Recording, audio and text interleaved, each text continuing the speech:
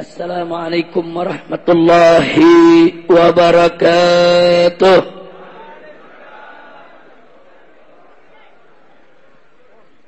بسم الله والحمد لله والصلاة والسلام على رسول الله وعلى آله وصحبه ومواله سيادة الحبائب الشرفاء وسعادة العلماء الفضلاء وفضيلة الأمراء الكرماء وجميع الحاضرين الأحباء الأعزاء رحمكم الله أوصيكم جميعا ونفسي بتقوى الله وبطاعة رسول الله صلى الله عليه وسلم ولا أنسى بمثل هذه الأيام الطيبة المباركة من شهر شوال أن أهنئكم جميعا بعيد سعيد وعيد مبارك فجعل الله وإياكم من العايدين والفايزين والمقبولين وكل عام وأنتم بخير تقبل الله منا ومنكم ومن جميع المسلمين آمين يا رب العالمين. Kepada para habaib, para masyaikh, para alim ulama, para umara, para tokoh dan kedakan Allah. Wabil khusus keluarga besar daripada sahibul haul Al-Habibul Mahbub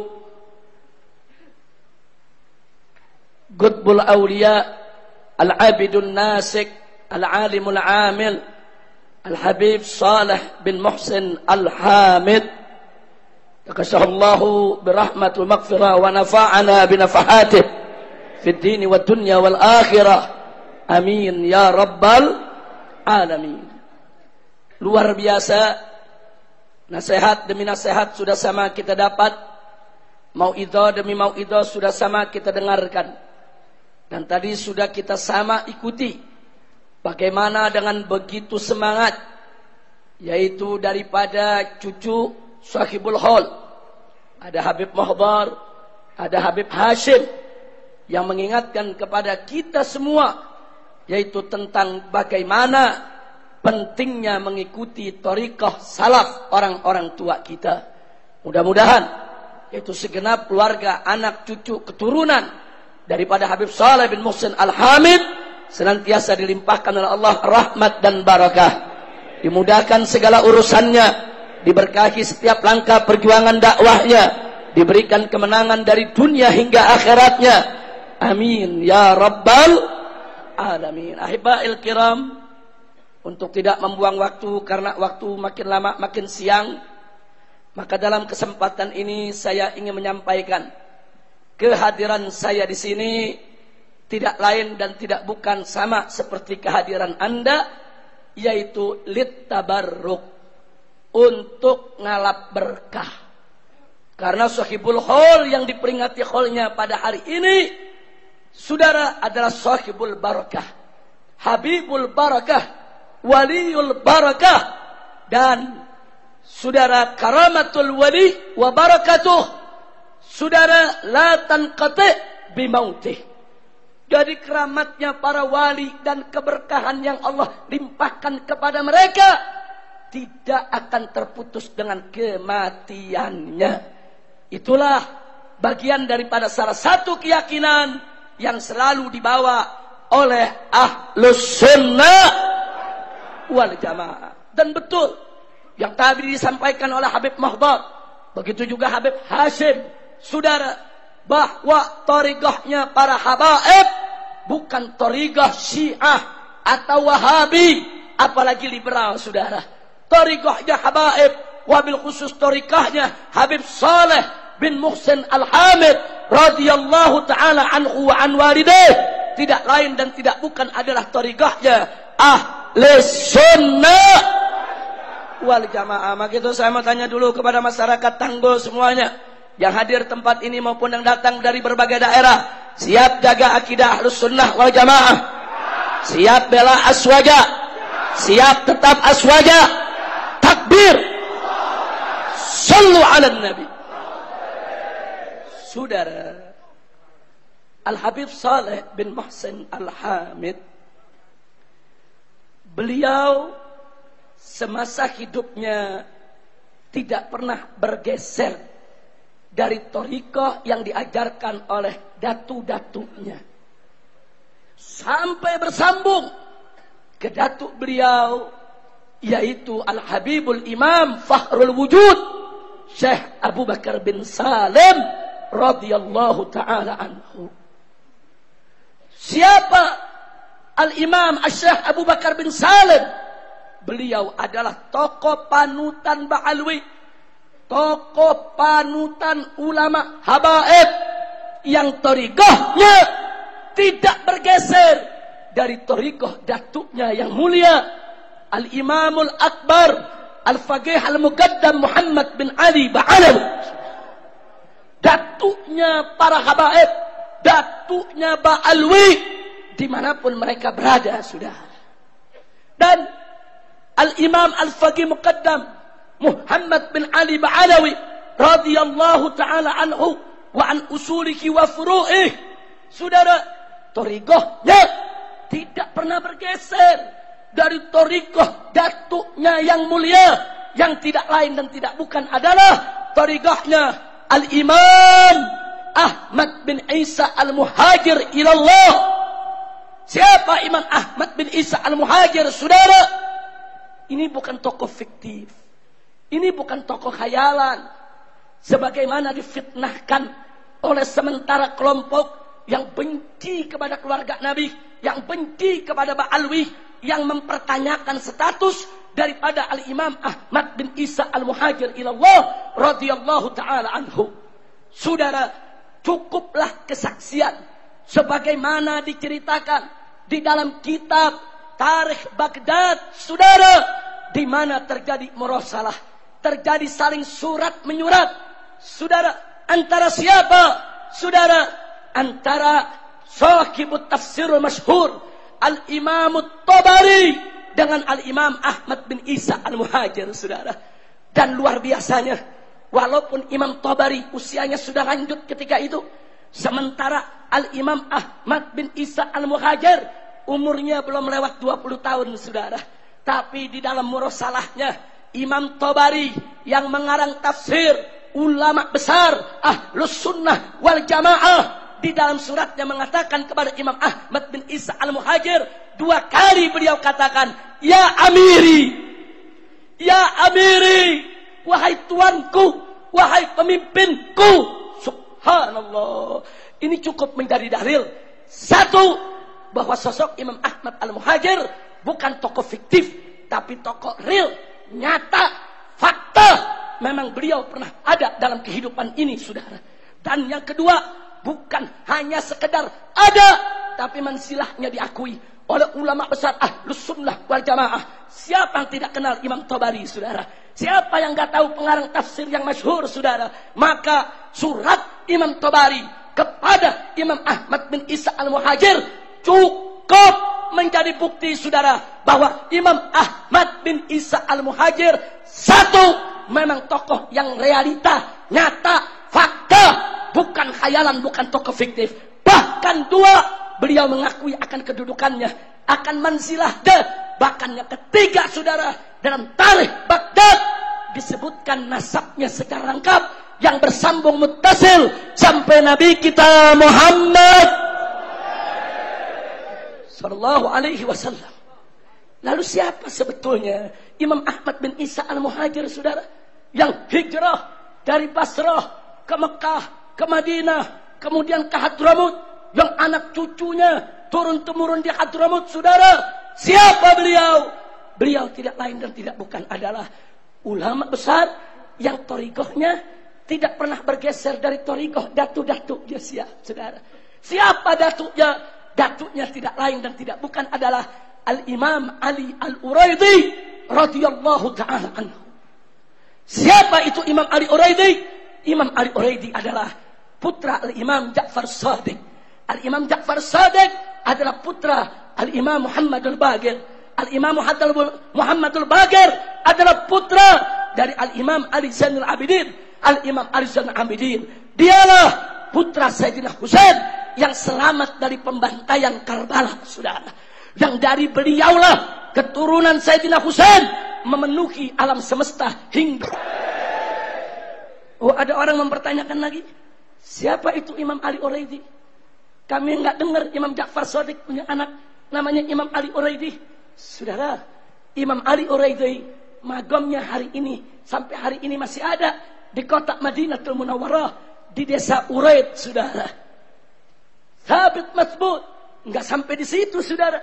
Ternyata Imam Ahmad, saudara, salah satu dari ada ulama besar Ahlus Sunnah wal Jamaah dalam kitab musnadnya meriwayatkan beberapa hadis dari Imam Ali Uraidi.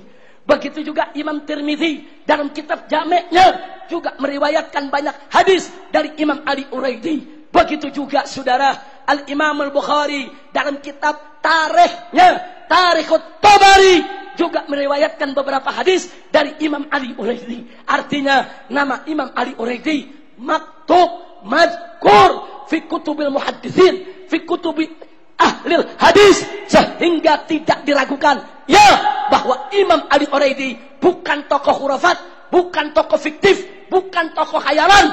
Dia memang putra daripada Imam Ja'far Shadiq. Dialah datuknya para habaib yang ada di Indonesia, saudara. Takbir. Sallu ala nabi. Karena itu umat Islam Indonesia harus bersyukur dan berbahagia Ternyata saudara, dari keturunan mereka inilah yang datang ke Indonesia menyebarkan Islam. Artinya apa saudara? Torikoh para habaib yang datang ke Indonesia muttasil, sanatnya bersambung, nasabnya bersambung, madhabnya bersambung, akidahnya bersambung, syariatnya bersambung, ilmunya bersambung, torikohnya bersambung, sabit, madhud, bitahqiq tidak diragukan lagi saudara. Kalau kita mau tahu torikohnya ahlul bait torikohnya keluarga nabi torikohnya itroh itulah torikoh yang dibawa oleh datuknya para habaib ke Nusantara ini saudara. Salah satunya adalah sahibul hal al habibul imam Saleh bin Muhsin al Hamid radhiyallahu jadi kalau mau tahu torikohnya ahlul bait lihat torikoh Habib Saleh kalau mau tahu torikohnya Al-Itrah, lihat torikohnya Habib Saleh. Kalau mau tahu torikohnya keluarga, pegang kuat-kuat daripada Alhamdulillah. Kira-kira jelas tidak? Paham tidak? Eh, di zaman sekarang ada kelompok liberal. Dia mau coba-coba menghilangkan jejak para habaib yang berjasa di negeri ini, saudara. Apa mereka bilang? Islam datang ke Indonesia bukan dari Arab. Bukan. Kata mereka dari Iran, dari Persia. Ada lagi yang bilang dari India. Bahkan ada yang bilang dari Cina, saudara. Eh, mari kita buktikan secara ilmiah, saudara. Andai kata Islam di Indonesia datang dari Persia, dari Iran, Indonesia 90% sudah jadi Syiah semua, saudara. Betul? Betul? Andai kata Islam di Indonesia datang dari India atau dari Cina, saudara, yang madhabnya terkenal Hanafi, maka di Indonesia 90% madhabnya sudah Hanafi, saudara. Betul? Tapi faktanya saya tanya, di Indonesia mayoritas madhabnya apa? Madhabnya apa? Madhabnya apa? Dari mana datangnya? Dari Iran? Bukan. Dari India. Bukan. Dari Cina. Topekong dari Cina sudah. Bukan. Mereka datang dari tangan para habaib yang turun dari Hadramut sudah. Sampai hari ini ulama-ulama habaib yang duduk di Hadramut tidak bergeser. Akidah As'ari dan madhab Syafi'i berdis dengan madhab yang dianut oleh ahlus sunnah bangsa Indonesia Alhamdulillah. Kalau begitu saya mau tanya, kalau gitu Islam datang ke Indonesia lewat Cina bukan? Lewat Iran bukan? Lewat India bukan? Lewat Hadro? Di mana itu Hadramut? Sebelah Jember. Dari negeri ya Yaman. Itu bukti yang pertama. Betul? Betul? Saya tanya, fakta tidak? Nyata tidak? Terbukti tidak? Alhamdulillah. Jadi kalau ada yang bilang Islam Indonesia dari Iran, lagi ngigo. Lagi ngigo. Yang bilang dari India, saudara lagi bikin martabak dia. Yang bilang dari Cina, wong edan. Kira-kira jelas tidak? Yang kedua, mau bukti lagi? Mau bukti lagi? Yang kedua, lisan orang Indonesia bahasa Arab. Islam di sini dari Persia, apalagi dari India, dari Cina, ini lisan gak bakal fasih. Orang India sampai nih hari nyebut subhanallah, subhanallah. Allahu Akbar.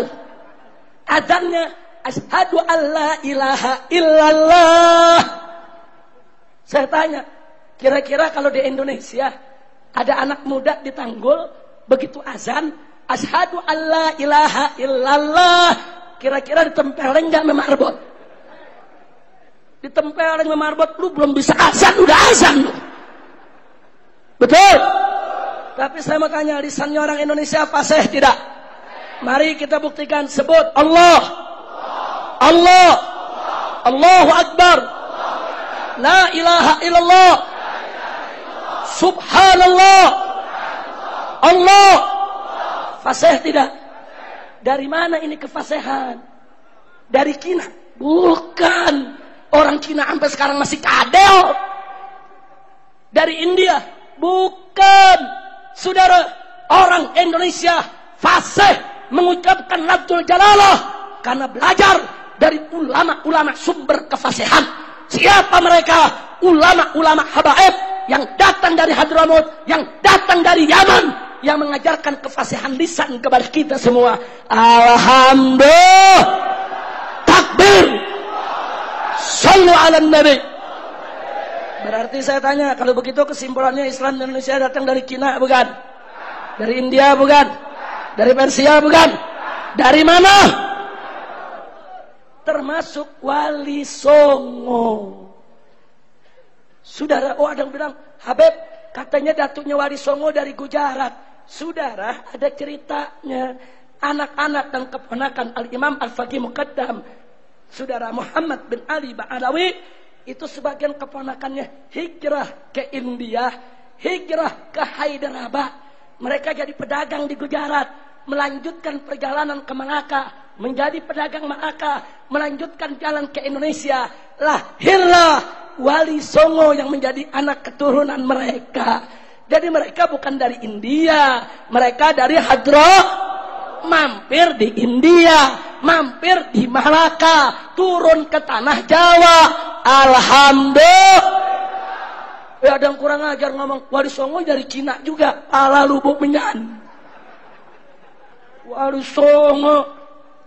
Dari dari Cina saudara. Wali Songo dari Hadro orang tua mereka turun ke tanah Jawa menikah dengan perempuan-perempuan Jawa saudara.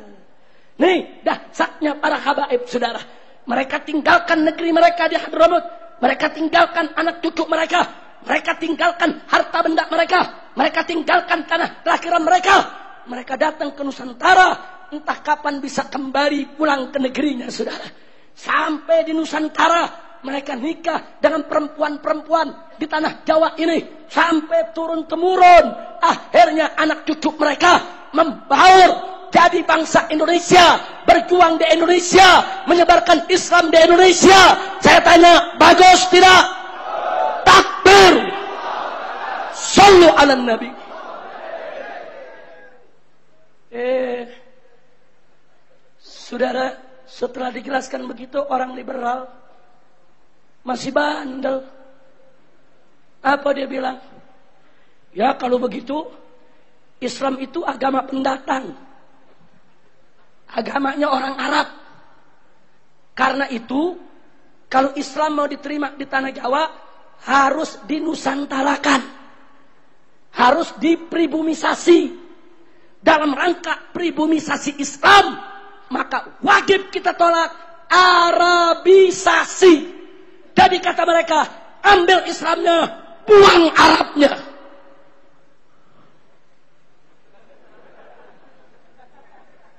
Jawab jangan. Jawab jangan. Udah siang. Jawab jangan. Saya mau tanya, hall ini dilaksanakan tiap tahun kan? Berarti bisa dong jawab tahun depan.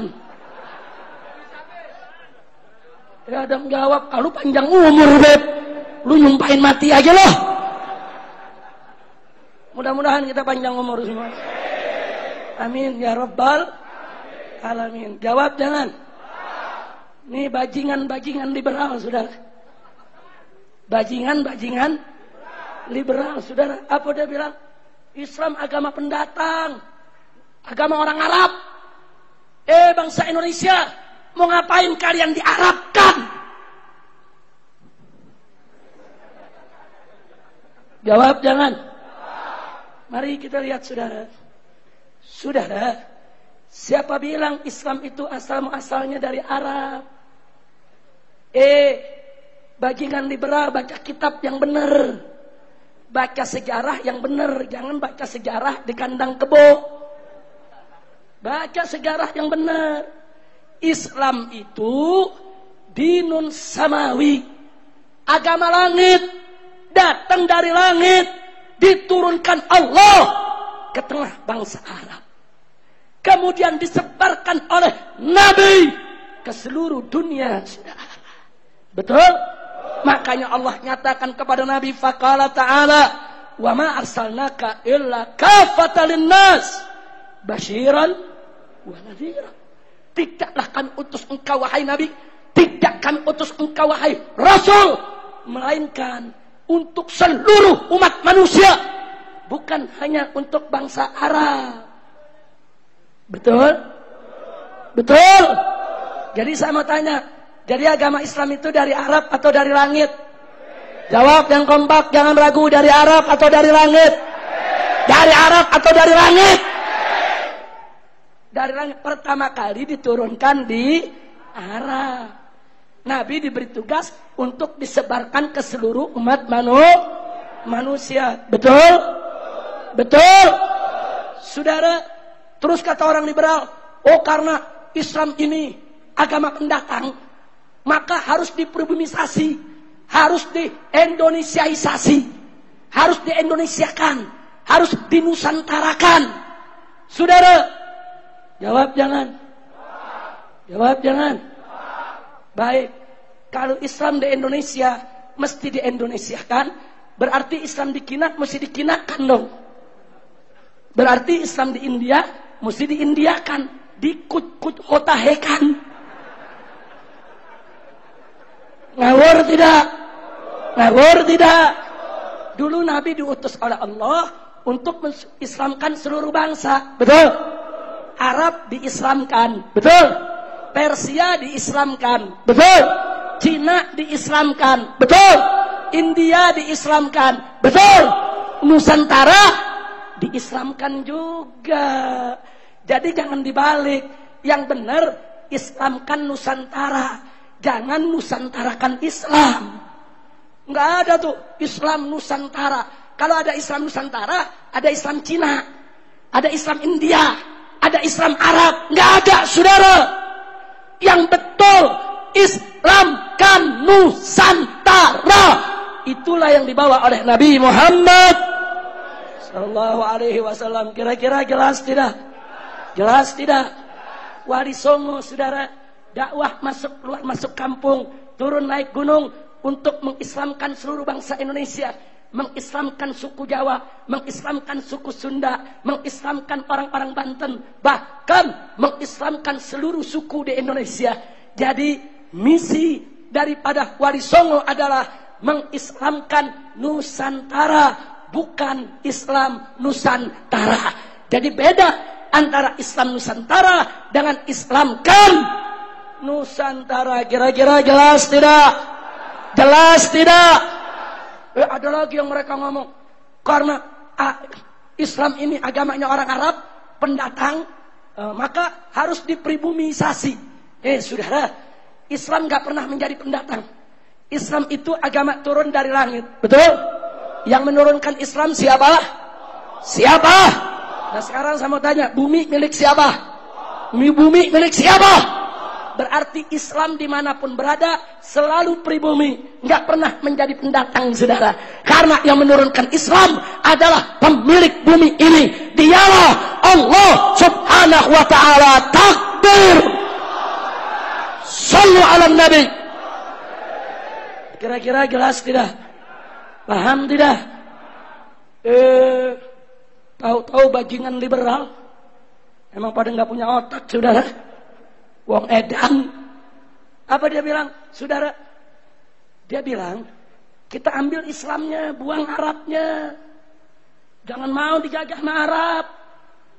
Maksudnya apa? Satu, apa kata dia? Itu kalau ketemu sesama orang Islam Indonesia, jangan pakai Assalamualaikum.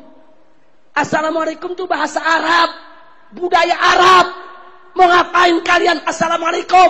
Ganti saja salam sejahtera. Jangan pakai assalamualaikum. Itu salamnya orang Arab. Mau ngapain kalian diarabkan?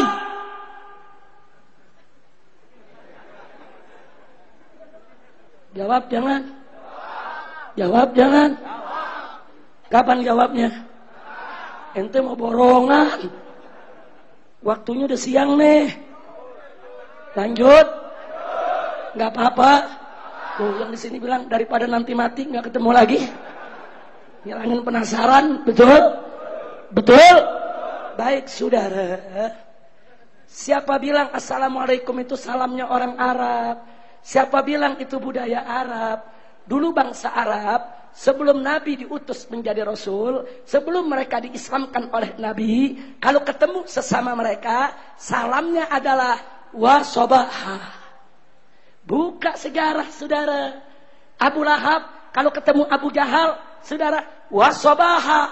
Kalau kayak kita selamat pagi. Selamat hari yang cerah. Saudara, nggak ada Abu Jahal baca Assalamualaikum. Nggak ada. Nggak ada, saudara. Nah begitu Nabi diutus oleh Allah menjadi Rasul. Nabi ajarin umat Islam. Kalau ketemu sesama Muslim, jangan pakai wasobaha. Itu tahiyatul jahiliyah.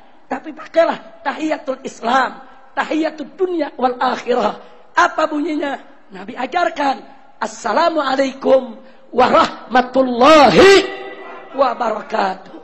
Berarti saya mau tanya, jadi Assalamualaikum itu budaya Arab atau ajaran Islam? Jawab yang kompak, budaya Arab atau ajaran Islam? Budaya Arab atau ajaran Islam? Ajaran Islam. Makanya kalau ada orang liberal bawa ke rumah sakit jiwa, saudara. Mungkin mereka mengalami keterbelakangan intelektual. Itu bahasa universitasnya. Saudara, kalau bahasa orang Jembernya gagal paham. Kalau bahasa Jakartanya goblok. Kira-kira jelas tidak? Jelas tidak? Ada lagi yang kedua, apa mereka bilang? Ambil Islamnya, buang Arabnya. Eh perempuan-perempuan Indonesia, mengapain kalian pakai jilbab? Jilbab itu budaya Arab. Jilbab itu pakaian perempuan Arab. Mengapain kalian dijajah oleh orang Arab? Mengapain kalian Nusantara diarabkan? Jangan mau diarabisasi. Buang jilbabnya. Pakai saja pakaian Nusantara. Kayak di Bali ke Kemben. Jadi ini saudara. Yang jilbab dia lagi protes. Saudara, eh yang pakai kancut di pantai didiemin. Kurang ajar tidak? Kurang ajar tidak? Tapi kita jawab lagi, saudara. Siapa bilang jilbab pakaian wanita Arab? Saudara, dulu sebelum Nabi diutus menjadi Rasul, sebelum jilbab diwajibkan, wanita-wanita jahiliyah mutabarrijat, mereka terbuka aurat, saudara terbuka, rambutnya terurai, pusernya ke mana-mana. Makanya ada tari perut. Tari puser, saudara. Nggak tahu mereka jilbab, saudara. Sampai Allah perintahkan Nabi untuk menyampaikan kepada para istrinya, kepada putri-putrinya, kepada nisa ilmu minin, apa yang harus disampaikan? An yudnina alaihinna min jalabibihin agar mereka menghamparkan pakaian jilbab mereka, menutup aurat mereka, saudara. Ya, setelah diperintah oleh Allah, semua muslimat, sahabat Nabi, ramai-ramai menutup aurat mereka dengan jilbab, saudara. Berarti saya mau tanya lagi, jadi jilbab itu budaya Arab atau ajaran Islam? Jawab yang keempat, budaya Arab atau ajaran Islam? Jadi kalau orang liberal mengatakan itu budaya Arab, saudara pinter begoblok. Waras apa edan? Edan. Ngajinya saudara, ngajinya orang nyegoro. Orang nyegoro, nggak dalam ngajinya, ngajinya di bawah pun jengkol. Kira-kira jelas tidak? Jelas tidak? Yang terakhir satu lagi. Jangan panjang-panjang kalau diterusin sampai maghrib urusannya. Insya Allah nanti malam kita punya acara di Rambi Puji Jember. Siap datang? Insya Allah. Kalau gitu nerusin ntar malam aja dah.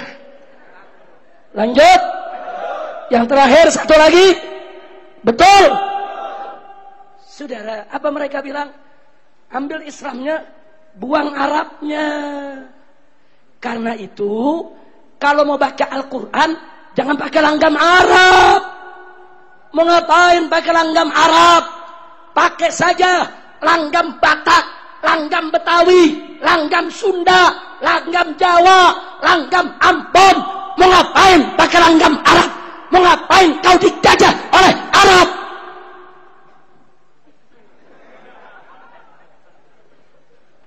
Saudara, yang nyuruh kita baca Quran dengan langgam Arab itu Nabi. Di dalam Al-Quran Allah perintahkan faqala ta'ala warattilil Qur'ana tartila. Bacalah Al-Quran itu dengan tartil. Sayyidina Ali ibn Abi Thalib radhiyallahu taala anhu menyatakan yang dimaksud tartil adalah memberikan setiap huruf hak-hak bacaannya. Bagaimana cara bacanya? Bagaimana mahraj hurufnya? Saudara, termasuk tajwidnya. Bagaimana ikhfa'nya, idharnya, idghamnya, iklabnya, mana kolkolahnya, saudara. Allah yang suruh baca dengan tartil. Kemudian Nabi mengatakan dalam satu hadis, apa kata beliau alaihi salatu wassalam? Iqra'ul Qur'an biluhunil Arabi. Bacalah Al-Quran dengan langgam Arab.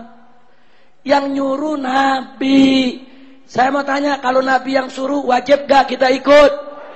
Wajib tidak kita ikut? Nah kita tanya, kenapa baca Quran mesti dengan langgam Arab? Jawabnya, karena Al-Quran diturunkan oleh Allah, Quranan Arabian.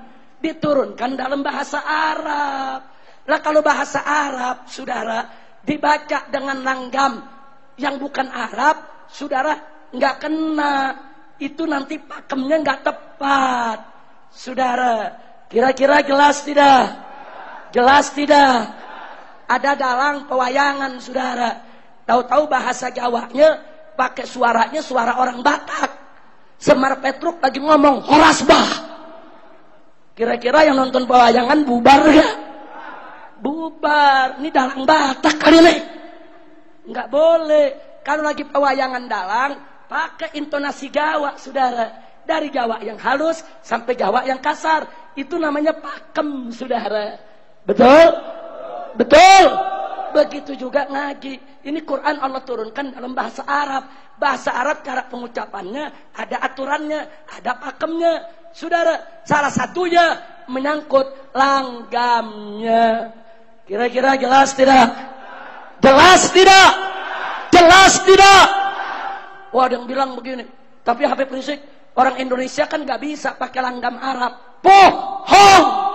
Siapa bilang orang Indonesia nggak bisa? Itu menghina bangsa Indonesia, saudara.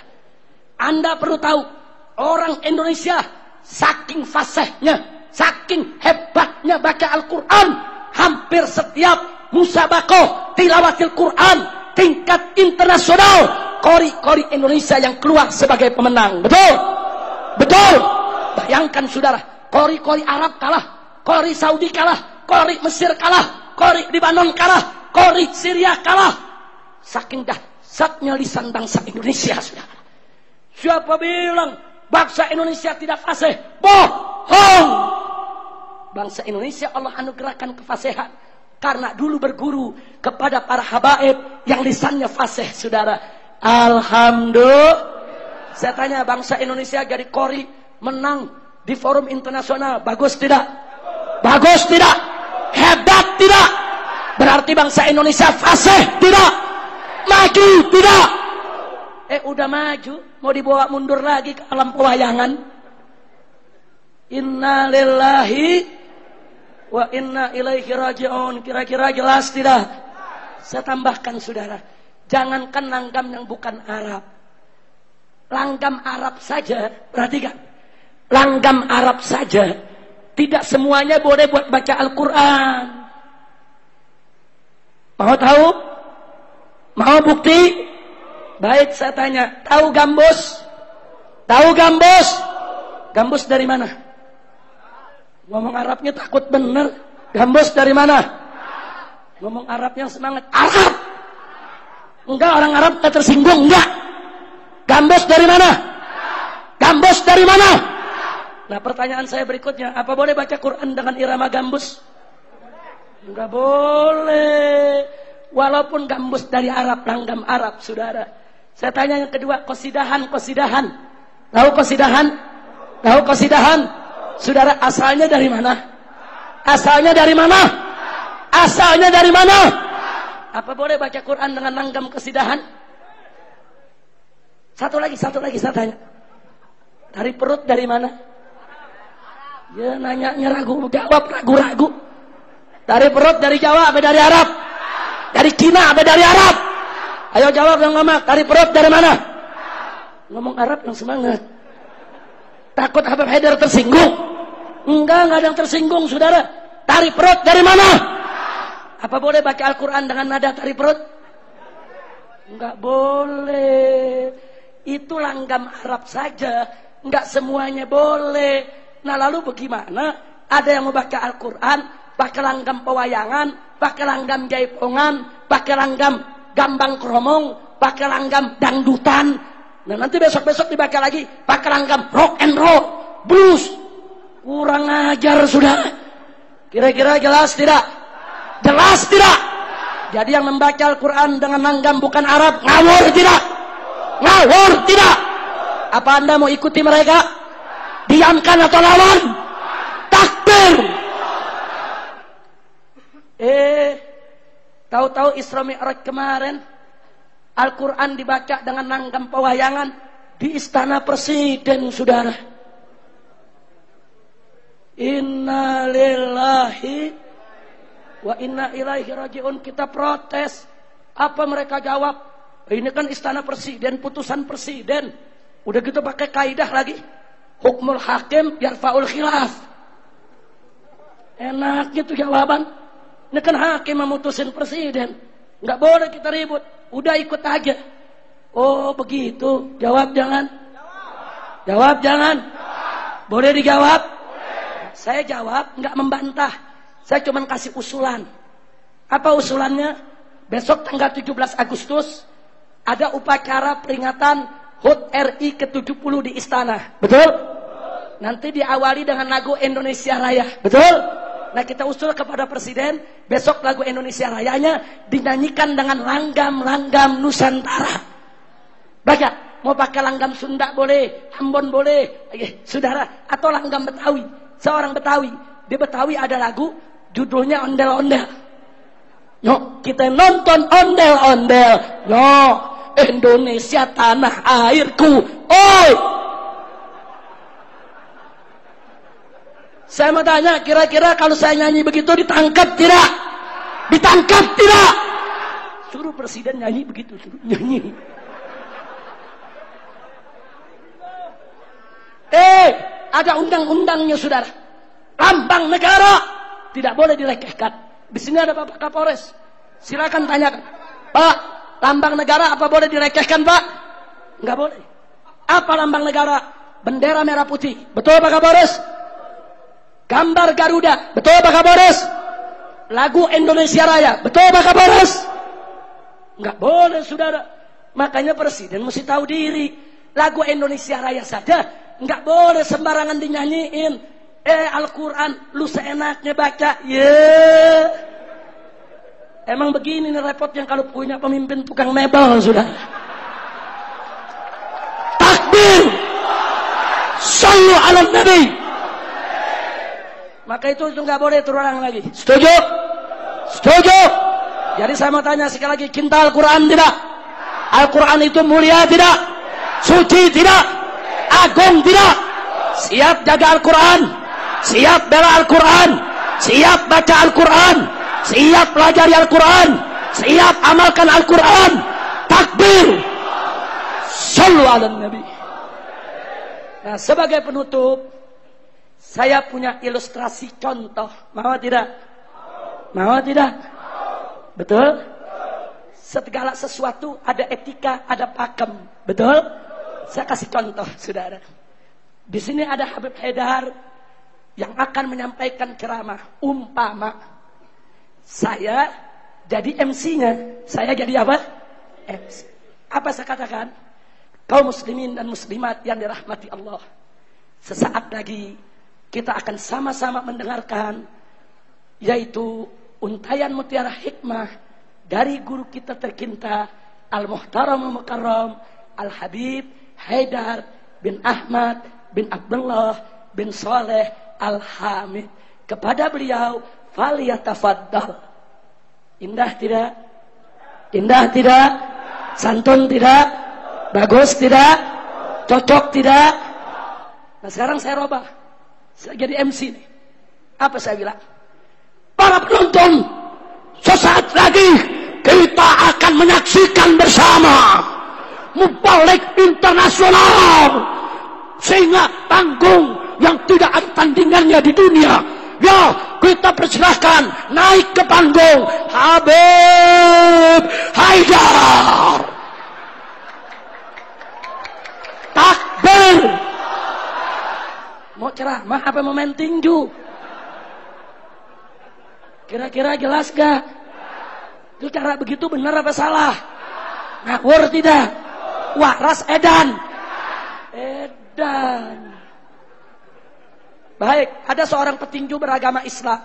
Namanya Muhammad Ali atau Mike Tyson. Betul? Ada dua nih, betul?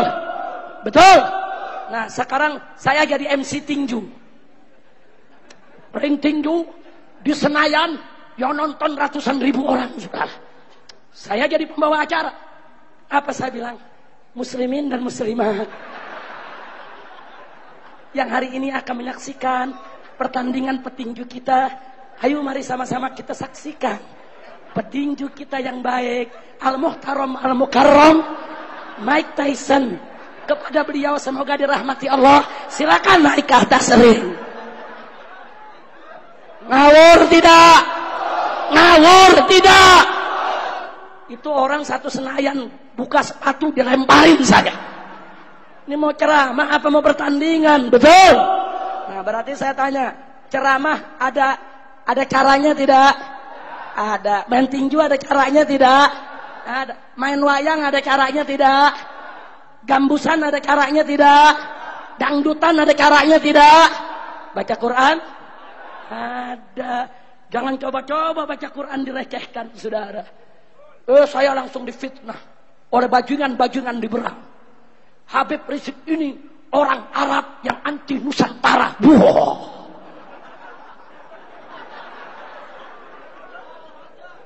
Jawab jangan. Ntar malam. Lu mau dijawab sekarang aja loh. Saudara, saudara.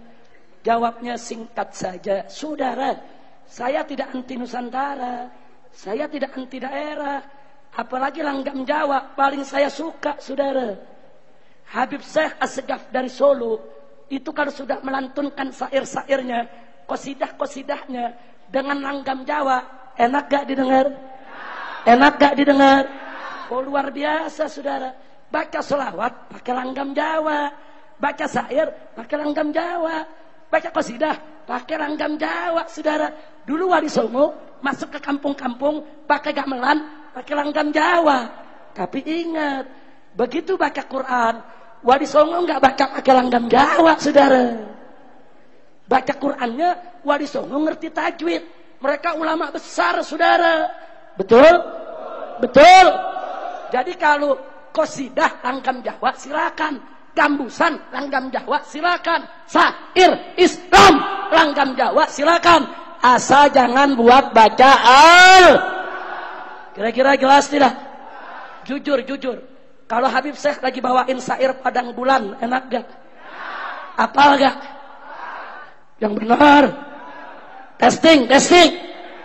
Benar. Ayo rame-rame. Padang bulan. Koyo. Rembulane. Sing awe awe takbir. Enak gak? Enak gak? Indonesia tanah airku. Kalau nggak ditangkap loh. Indonesia dinyanyiin pakai padang bulan, apalagi dinyanyiinnya melagu cicak rowo. Ditangkap, betul? Kira-kira jelas tidak? Berarti saya tanya, saya anti Nusantara tidak? Saya cuman anti Islam Nusantara yang Islam mau diubah-ubah. Saudara, kalau Islam agama saya, Nusantara negeri saya, saudara. Islam itu Islam rahmatan lil alamin.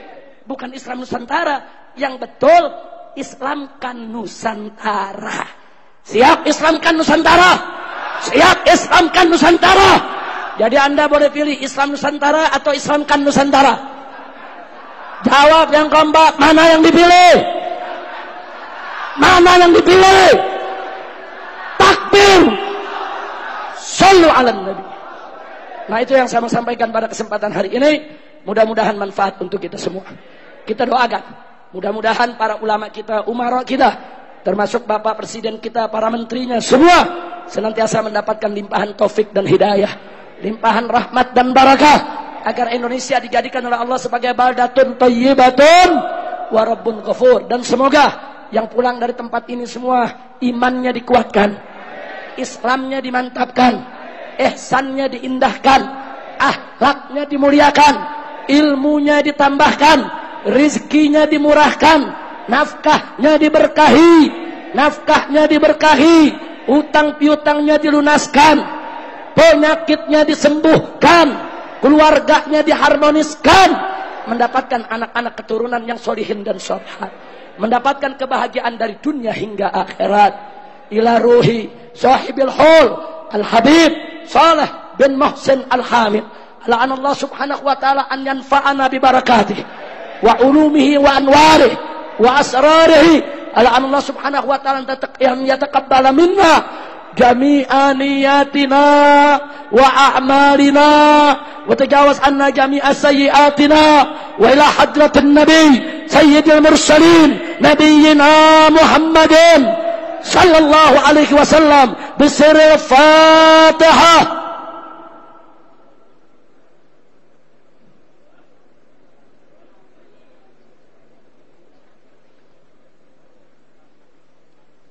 Takabarallahu minna minkum fataqabbal ya karim.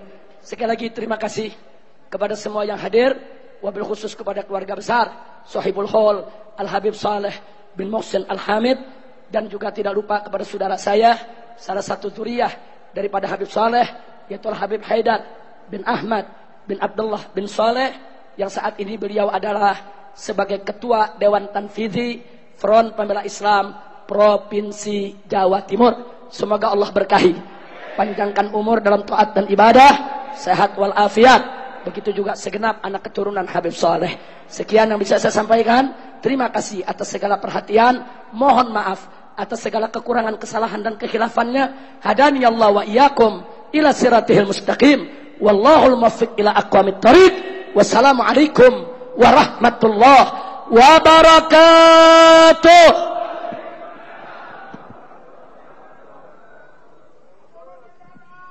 Alhamdulillah.